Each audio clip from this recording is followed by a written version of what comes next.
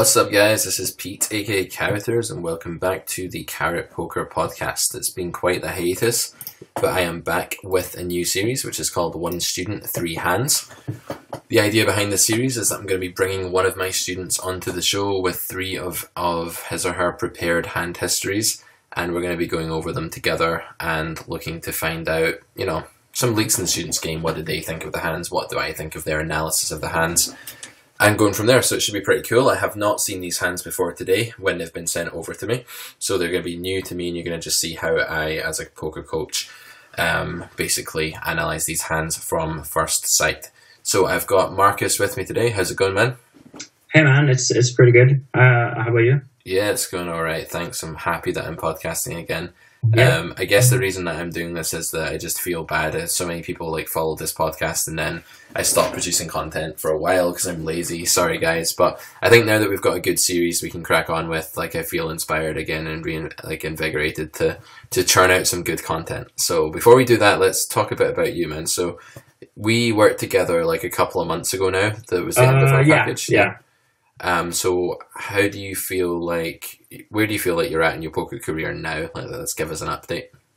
Um, well, I'd say that for now I've been playing quite consistently for um, since the last fall, and so I've been able to put quite a lot of hands in Cool. and been able to get a nice win rate or like like a positive win rate.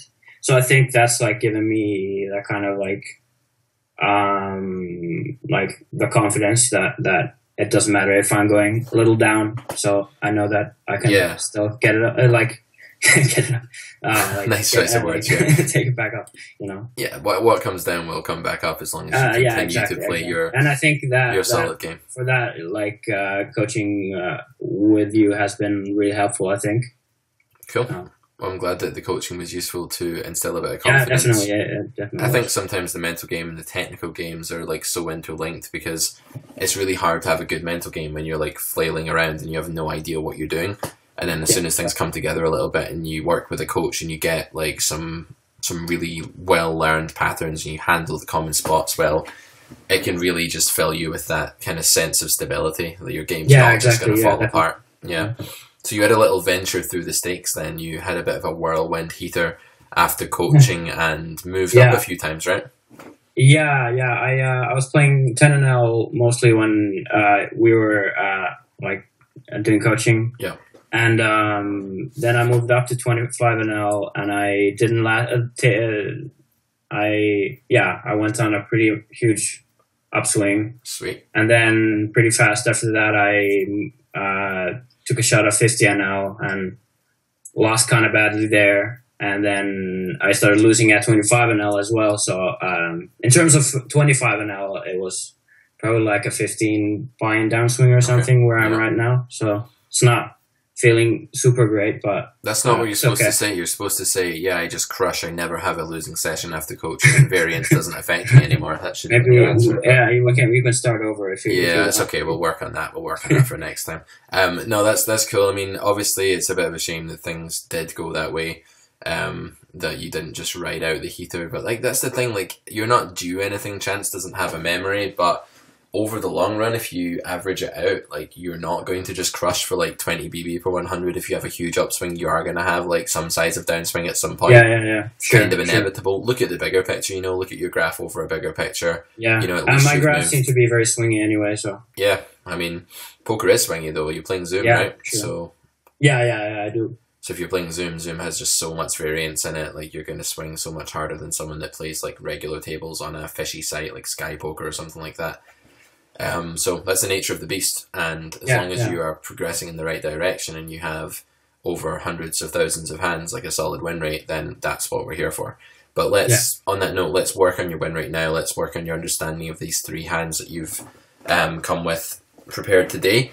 We have, I'm going to call hand one this hand with ace king. So I've got it on my screen Mhm. here, not the screen that you guys can see on YouTube. It's actually off screen um, to create an, a level playing field with the guys just listening to this. This is a podcast after all, not a video. So I'll go through and describe what's actually going on here. So hero is in the small blind here with ace of hearts, king of diamonds and it folds around. This is a 25 no limit hand. Folds round to the button who min raises to 50 cents, which is pretty standard these days at 6 max online cash. Hero 3 bets to 4x, so to $2. And the big blind actually cold calls the 3 bet. So if you got any relevant player reads or anything that I should know about this hand before I just start going through the hand history? Um, no. Uh, well, um, the big blind is uh, is a twenty four eighteen. I have around two hundred fifty hands. Okay, so what kind of Uh, range? se- seems like kind of a reggy player. Gotcha. Yeah. So what kind And, of range do well, and well, the, the the button seems like a fish. The button. So the button's fishy, and the guy in the big blind is is fairly reggy looking. Okay. Fairly, yeah, So when a reg cold calls, first of all, I don't ever cold call in this position if I'm big yeah, blind. yeah. So that makes me think about maybe he's more of a like a reg fishy kind of. I mean, it is just 25 maybe- NL. Like, people don't have the most refined strategies, so I wouldn't say that he's necessarily, like, fishy. But Yeah. it's just pretty typical of a 25 NL reg to not have read, like, the Grinder's Manual, where I would recommend in late position playing a 4-bet call or 4-bet fold game and not having this horrible capped face-up calling range. Right. Yeah. Um, but they're not necessarily all going to play that way. They've not been trained by the same coach. They're not aware of all of the same things. So I do believe it's the best Mm. strategy to play four bet fold here. But you know, let's not jump to the conclusion that he's that bad a player. But he's Yeah. probably not. You know, great. He's playing twenty five no limit. Yeah. Um, so he's not going to be like a mastermind with completely pre-built strategies in every spot either. yeah. Um, He actually has a quite a nitty three best three bet percentage. What's his three bet stats? Uh, five. Five. Okay. So that definitely. So we can probably do a fairly okay job of just ranging this guy right now. What hands do you expect to see cold calling here? Mm, I would say like middle to good pairs a lot. Um, like stuff that uh, they're gonna be kind of don't want to be four bet calling. Yeah. So basically, like strong broadways. Uh, I don't know something like sevens to jacks. Possibly. Probably this guy would flat jacks. Maybe might even flat queens or ace king. Sorry. He might even flat queens or ace king if he's got quite a low Yeah, three sure. bet Yeah, stat. He's Yeah, yeah, probably agree. not going to be four betting that much either. Yeah. Yeah. It's a pretty good inference normally that if someone's not three betting a lot, they're not four betting a lot. Yeah. Exactly. Um, so we go to the flop of Jack Jack five rainbow, no backdoor draws or anything here. We've just got Ace King off. Um, and what do we think about? Well, first of all, what's our range at this point? What do we have for value here, and what would our bluffs have been?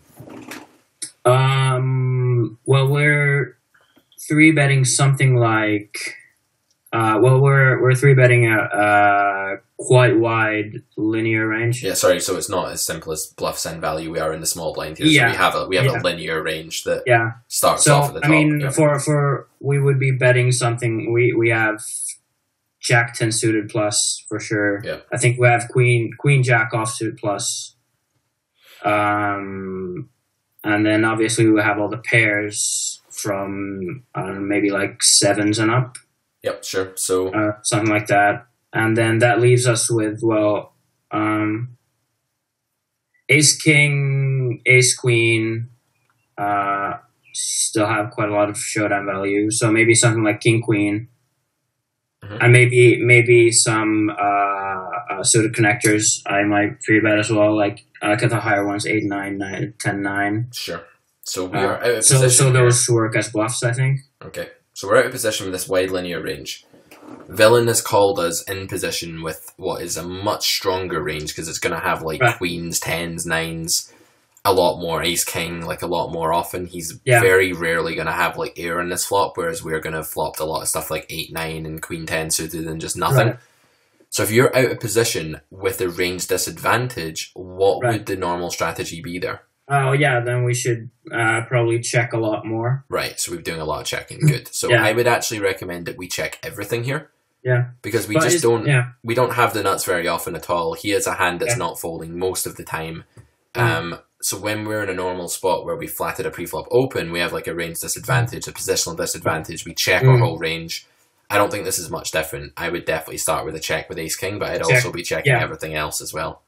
So uh, okay, okay. Well, uh, is it is it really? Are we really in a in a in a range disadvantage necessarily? If like we we still have all the stronger pairs that he probably doesn't have. It depends if he flats them Uh, ever. He might not. yeah. He might slow play aces, kings like this Yeah. sometimes. Um, Yeah, I mean- we don't have a nut disadvantage. Like we do have a good amount of the nuts that he doesn't have, perhaps, but we have a lot more air, so we have a weaker range in the sense true. that we have nothing Okay. Far more Yeah, often than villain does. I don't Yeah. mind if you want to bet sometimes, like just with aces and kings here, Mm. because he shouldn't have many jacks, and then bet occasionally as a Mm. bluff, and then check the rest. I think that would be fine as well. You don't necessarily have to bet nothing. Um, especially if you want to get three streets from stuff like queens when you've got aces, you know, you probably do. Yeah, yeah. So I don't mind having a very small betting range, but like you say, you want to be checking the vast majority of the time here for sure, Yeah, okay. and you want to be checking a lot of hands that you know you can check call here also. Right, right. Like Ace King is is a hand that okay, it doesn't block any of the pairs that he can have. It does block like air that you'd have, like Ace Queen and stuff like that, but it does have a lot of showdown value. So if you want to check call this hand once, I think that would be probably defensible. And then Yeah, check yeah. fold hands like Ace Queen and stuff that are just a bit weaker Yeah, um, yeah. would be okay, and also make sure that you're you are check calling like some better hands here as well, like perhaps kings, aces sometimes. Um, I think your Jack X, you do have an advantage in the fact that you can have Jack X and he can't.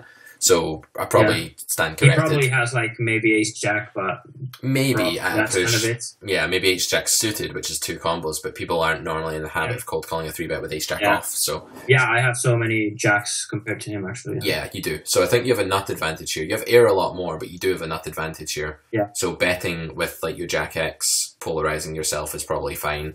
Applying pressure with those, bluffing sometimes, but Ace King is not really going to be a bluff. It's got too much showdown value. Right. Yeah. So yeah, just check calling with the Ace Yeah. King. What Um, about the idea of of say we were up against a player that we knew was a little looser, and we'd ha- want to have like some triples. Yeah, I mean, Uh, you might even want triples here as well, yeah, but you'd yeah, want to yeah. block a queen. You'd want him not to have pocket queens in that case. If you're Yeah, discounting, so maybe like king queen, some combos of Yeah, queen. exactly. Stuff like King Queen that we block Yeah. kings and queens, which are a bit more likely than aces. I think the way this is played out, pretty. Um, King Queen would be a good triple here, definitely. Yep, and I think you can triple Jack X. So I, I think you do want some triple bluffs here as well, and like really put Right. put some hands to the test, like nines, tens, queens, which is the middle kind of showdown value part of his range. Like make him give him a decision with them. You know, do it in a balanced way. That's how you're going to apply the most pressure here. So right, I'd have a triple range definitely. Yeah. I think Ace King though, its blockers are not in the right place. You know, we're not trying to block a jack because we don't think he has a jack Yeah, anyway. We're trying yeah. to block pocket queens. Yeah, because so- this this kind of like uh, to me like when I just briefly look at it, it looks like a good kind of a blocker hand because it blocks king jack and ace jack, yeah, but it's probably not so relevant uh, No. in this spot though. if he doesn't have them pre in the first place, then they're Yeah, not. yeah, or has very few. Right, exactly. So we check and the villain bets two eighty seven into four fifty. So like half Yeah. pot, and we go with the check call plan, which I think is is okay for sure. Yeah, We do have equity against his pairs and stuff like that. He shouldn't have a jack much. but I guess like if, if the plan is that, or if if the idea is that ace king is like just barely a check call, we're Barely gonna a check probably call. be like check calling like an exploitative amount. I think. Sorry, can you say that last part again? that if if if ace king is barely a check call, Yeah. meaning that we're check uh, no, uh, check folding everything that's worse, Yep. which we have a lot of, then we're probably gonna be check folding like an exploitative amount, like we're not necessarily check folding everything that's worse because we are going to have a bluffing range as well with some of our worse hands. Yeah, sure. Yeah, So- yeah, of course, of course, but still, that would probably mean that we quite often fold. Yeah, I mean, I think if you check call your overpairs here, like your like queens, jacks, maybe not queens is a bit vulnerable, but like kings and aces. If you check all those hands, you'll buffer that check call range. You'll make it a lot stronger, and then you can just use Jack X as like your polarized kind of value betting range on that flop. Okay, I think that okay. would be fine in that way. Yeah, you'll yeah, keep your check folds like somewhat in line. I don't even think it really matters if you are overfolding because I think the villain's range is just so defined as having something anyway, like having a Yeah, pair yeah. very often or having ace king when he doesn't have a pair that I don't think it's a disaster if we fold a few too many combos of like king ten suited or eight nine or something like that. Yeah, yeah, right. I think it's okay. Right, so on the turn two of diamonds, Nothing really changes. Nothing really changes. It goes check, check. I guess we're expecting the population to give up quite a lot here if they were bluffing flop with king, queen, suited ace, queen, that kind of thing. We're probably expecting mm-hmm. a fair amount of give ups. Yeah, yeah. So that's that's why the the I mean, I guess theoretically this could I mean, is this still a call? I mean, I guess like if Ace King is the worst kind of check call, then this is a clear fold. Yeah, definitely. I mean, its blockers are completely wrong as well. Like you're blocking King Queen and Ace Queen, which are like the only hands he can be bluffing with, and you're not Yeah, blocking yeah. much of his value range. So Okay. flop is barely a check call, just because you. Uh, the only reason I check call flop is that Ace Queen is still twelve combos, which you dominate, and he may not bet with like pocket eights, pocket nines, pocket tens, right? So he might just be really polar on the flop to like queens or Ace Queen. So I think you should call the flop, but I think on the turn, your blockers are wrong to call again with ace with ace king because you don't block his value range of queens, and you do block him from having ace queen. So Right. I think the ace king, there's no need to call again with this particular hand. You're going to have like kings and aces in your flop check call range as well, which you can call with. Yeah, So I think but I mean, if, if we if we take out aces and kings, we probably bet the river though. Um, are we not? Sorry, what are we talking about here? Are we not talking about on the turn, like what our range would be for check calling? Oh right. Oh no, I I- just thought that like we were talking about like the river. Um. All right, I was saying like what we would do on the turn. Sorry, I, I was saying Oh, like okay, turn would okay, be a check sorry. fold. Right on the river, yeah, of course. Like we would be leading like kings and aces, yeah, for sure. After a turn checks through. Um, I was talking about like what we do against the bet on the turn there. Sorry, we got our wires Right. crossed a little Oh, bit. Um, so the board just now is Jack Jack five deuce. Um, with two diamonds, we do have the king of diamonds. Not that it's massively relevant in this situation. We have check called the flop. Turn has gone check check, and the river is the deuce of spades. So we check again with ace king, and villain actually bets three twenty five into ten twenty four. So he bets a third of the pot. And we decided to call on the deuce of spades. So the board is jack of spades, jack of hearts, five of diamonds, deuce of diamonds, two of spades. So double paired board now. We just have ace high. What do you think about villain's likely range when he bets so tiny? This looks like kind of face up exploitable, Yeah, doesn't it? like really screams something not super great, but once ace king to call. Yeah, exactly. I think this guy must have like queens really, really often here. yeah, or tens or nines. We don't even block queens at all. I think we should we should definitely be folding some of our range here, and you know, like okay, what we do with ace king now, like our whole range is effectively just ace king combos at this stage because we would have led our aces and kings probably on the river. Yeah, for value. yeah. We don't have a whole lot else, but can we just exploit? Will we just fold all of our ace king now because this is Right, just right. so infrequently ever a bluff in this population? yeah, yeah, yeah, yeah. So I think we can probably improve upon this by folding, but we better skip on to the next hand. I think now because we're Okay. going a little bit slowly. Right, so I think fold is, is good, basically, just Right. because they're just not going to bluff with that tiny sizing on that text. yeah, yeah. That's uh, that's kind of what uh, I mean. Intuitively, it really looks that way, and, and in practice as well. Yeah. probably it is that way. I think you'll be shown a, a bluff or a, a chop. I mean, what can even bluff that's not a chop anyway? It's not like you even really beat anything, you know? You're just kind of chopping the times that he is randomly. Yeah, yeah, yeah. So I think fold is, is correct there. Right. Okay. Yeah. Right, on to the next hand. So we might just only get through two here, but that's not a disaster. Um, we're in the big blind with King Queen of Spades now, and button again. There's a min open here from the button. What do we know about button in this King Queen of Spades hand? Uh, only thing we know that it's a zero, 10 0 over 10 hands. Is he fully stacked? Um, Uh, he's fully yeah. stacked, yeah. he is fully stacked. And Okay. I, I'm not sure, like, if. Uh, actually, does, does I guess does uh, Poker Tracker give like the uh, the stats that were at the time? yes, it should do unless you've changed Oh, that okay. setting. Yep. Okay. Okay. Yeah. So then it's 10, 10 0 over ten hands. Okay, cool. So we three bet again a linear range in the small blind, which includes King Queen of Spades, and this time button four bets. So he's open to fifty cents. We've three bet to two dollars, and he's four bet to four fifty, which I guess is like your kind of slightly on the small side, but standardish Yeah. um, four bet Yeah. sizing in position. Yeah. And we elect to flat the four bet. So I definitely think that when you three bet small blind, like you do need to have some kind of flatting range against the four bet. Uh, this is a big blind, by the way. Oh, this is big blind. yeah. Um, Yeah. That's why I was- I was a little uh, surprised that you said like linear. Sorry, yeah, no, I mean, we'd Yeah. start off, I, I missed that. So we're big blind, not small blind, sorry. So we'd start off with more of a polarized Yeah. range because we would be flatting a bunch of stuff in the big blind. Yeah. Yeah. So I think I think this is kind of like a marginal three bet anyway uh, for value against well Yep. a 10-0. Yeah, I mean, I think it's it's okay. Certainly calling against a 10 0 might be also fine, just in case he does turn out to be really nitty against three bets. It's a bit more likely with those stats that he will turn out that way. than it would be on average. So I think it's okay, you know, to to flat here. It's okay to three bet here. Isn't there's not much of a difference. But if you do Yeah. three bet king queen suited, then clearly it's too far up your range to fold against a four bet because Yeah, especially if it's a little small. Yeah, so if you're going to three bet hands like this, it follows from that that you should have some flatting strategy against the four bet, like Yeah. queens, jacks, sometimes Yeah, especially against his sizing, it's kind of awkward to to five bet. It's not good to five bet because he's made the four bet so small that he's rendered better. He's rendered it better for you to call and worse for you to shove due to the risk Right, reward right. of shoving and the pot odds of calling. So what kind of a what kind of a shoving strategy would you advocate here? I would shove ace king off. I would shove kings. I would shove. That's probably about it, and I would probably also mix in some shoves with hands that are not going to flop very well, like nines and eights and tens.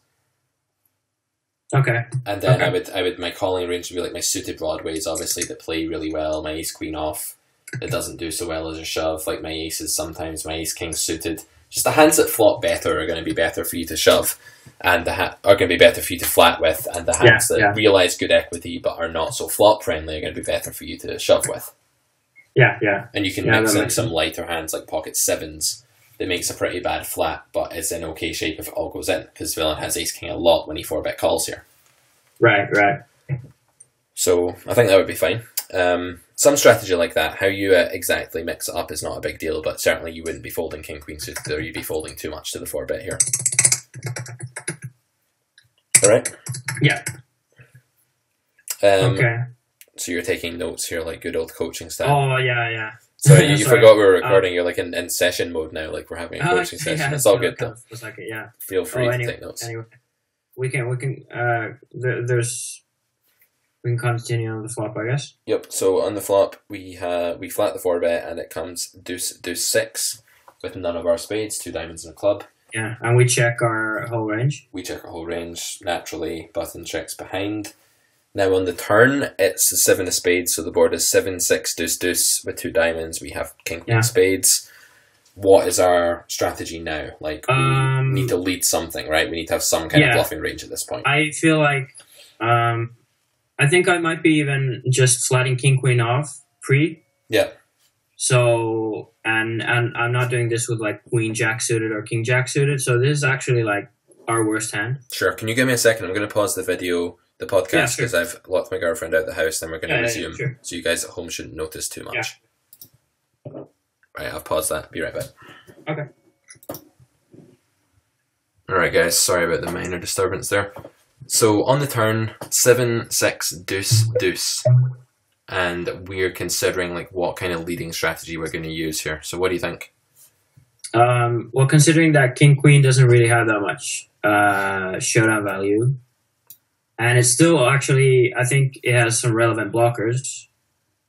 Um, I think this is a kind of a good hand to use as a bluff. Yeah, I think I'd be inclined to agree. Like villain could be uncapped at this point, right? He could be like checking back yeah. some big hands Yeah, on this yeah. flop. Like I, don't- I don't know how this guy plays, but if I was him or her, uh, I would probably check back with like aces and kings. Like- yeah, like the more, I guess, the less vulnerable hands. Yeah, I mean, queens and jacks maybe would be betting flop for protection or whatever, but like aces is certainly a hand that can afford to be put in the checking back range on six deuce deuce in a four bet pot to like strengthen up that range for sure. Yeah, yeah. So yeah so so that was kind of like also what i was thinking and uh um but the other other other one was that like um what kind of value would we have here Yep, good question. So what do we flat the 4-bet with? Well, I said we can probably mix in some combos of aces to flat with. Yeah. Pre, like to strengthen that range, um, and potentially like some combos of things like jacks or, I mean, jacks is getting kind of thin at this point to just bet that twice. But you got to remember, villain does have like Yeah. ace kings and stuff that also play this way, and he's probably more likely to have like ace king than he is like kings or queens or aces or something like that. So how wide do we want to go here? I don't know. I think it depends very much on our pre-flop strategy, but we could have some combos of aces Mm. that we can also play this way and like lead with for value now twice and just try and get all the money in. We could have all aces. We might always flat aces pre here to strengthen that calling range up, and they can be balanced with some bluffs. But we need to make sure that we don't bluff too much here. Mm. But I think that's okay because I don't think we have too many hands that actually are lacking in showdown value. King Queen is very close Yeah. to the bottom of our Yeah. range here. Yeah, like if we have ace queen, we don't feel too bad just checking down. I No, we check down, we lose most of the time, but we need to control Yeah. how often we lead as a bluff. You know, we can't just like lead this turn whenever we feel like it. Yeah, yeah, yeah, yeah. So So- I mean, even if we if we just bluff these four combos, it can't that be could that be bad. fine, yeah, and then six combos of aces or whatever. Yeah. Um, and then Yeah. I think you've got an okay leading strategy. I think you are going to check most of the time on that turn. Yeah, I think if you got jacks or tens or something, like it is going to be like fairly. You could bet once with those hands, I guess, then check river. It wouldn't be a disaster. Um, or you could just go for. The problem is like it's not going to be very good to check call a hand like tens, because villain is very rarely just going to have like some kind of air. Like he's usually Mhm. going to continue checking ace queen ace king and just bet with like stronger hands a lot of the time. Yeah. Um, but that said, you know he has four bet pre. He could have some four bet bluffs in his range, like ace five suited or whatever, or king queen himself, and mm-hmm. could be range checking the flop and waiting until the turn to bet. So no, maybe Yeah. maybe there is some merit to check calling a hand like I don't know, like tens or jacks on the turn. Yeah, be quite polarized when we actually bet here. It's a very tricky Right, spot right. you've you've given me here. Like a four bet pot is always like incredibly hard to to balance your strategies. Even though you're yeah, only working with a is, small it range, is. it's it's a tough spot to Yeah. to divide it out. And It's not obvious, but I think yeah, King Queen strikes me as a hand that we should start bluffing with. The blockers, like you say, are really good, and yeah, we can. There's only four combos of King Queen suited, so it's not going to blow our bluffing range too much on this turn. yeah, yeah. Right, so we do lead for 375. Now, stacks that are remaining on this turn card would be, I mean, you're what, like $22 deep or something? Still? Uh, yeah, we're there. We're effectively there's a pot size bet left. Be more than that, surely. Um, or no, no, it's uh, it's actually uh, exactly that actually. But you're both fully stacked pre flop.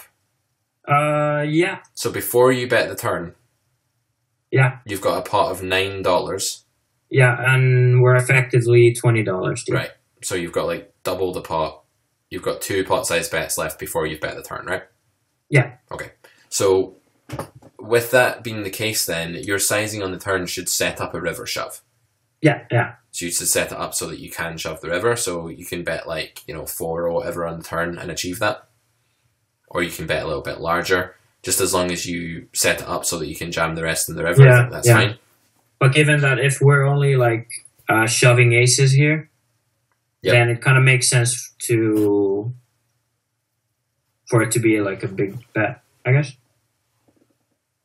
I mean, normally, if you're shoving a polarized range, you can leave like a bigger bet for the river. Like it's fine.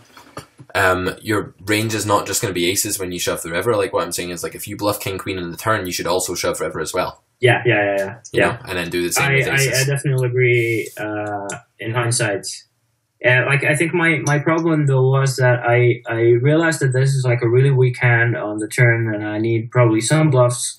But when the turn came, I was like thinking like, um, well, uh, first of all, I was constructing my my my pre-flop play very differently than you, I think yeah. because I wasn't thinking of of flatting aces. Okay.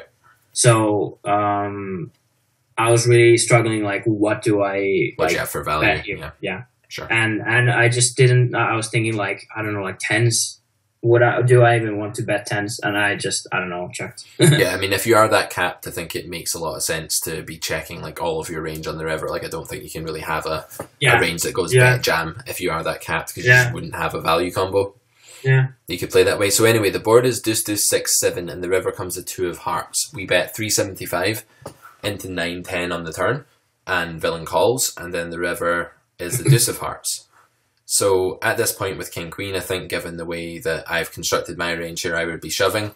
Um, Yeah. And also shoving aces, and it's okay because I'm not actually bluffing all that often. If I shove for about pot or just under, then I can have two to one value hands to bluffs in my range. So that would entail shoving six combos of aces and shoving sometimes when I've got shoving like three of my four king queen combos or something like that, um, Yeah. which would be a balanced strategy. So I think the lesson here is the way to pick a balanced strategy in a four bet pot is to consider what are my value combos and then how many bluff combos do I need to create like a kind of balanced range there. yeah, Um, yeah. That'd be the way to do it. And King Queen is like Yeah. literally the bottom of your range, so I think Yeah, it, exactly, it makes yeah. sense. Right, we better wrap up because we've been going for half an hour. Um, Okay. But sorry we didn't go into your third hand, but loads of detail No, on those okay. two. That's okay. Thanks for coming on the show, man. We'll get you back on in future and get you to Oh yeah, definitely. us. Yeah. Um, yeah. Thanks for this. Yeah, you're welcome. I hope your next Yeah. shot at the higher stakes um, at 50 NL goes a lot more smoothly. yeah. Hope so. Hope so. All right, dude. Take care. All you Bye. guys out there, thank you for listening. We will be back regularly now. I'm in the process of writing a new book. Loads of details to come. My old book is still on sale at carrotcorner.com, the Grinders Manual. Still very relevant um, to the games and yeah, lots of other stuff on that site. Still coaching as well, so just hit me up. My email is admin at carrotcorner.com. Um, if you want to get in touch for podcast ideas, you want to be on the show, you want coached, you want info about the book, whatever, just shoot me an email. I'd love to hear from you guys. And until then, I'll see you on the next podcast. Thanks for listening.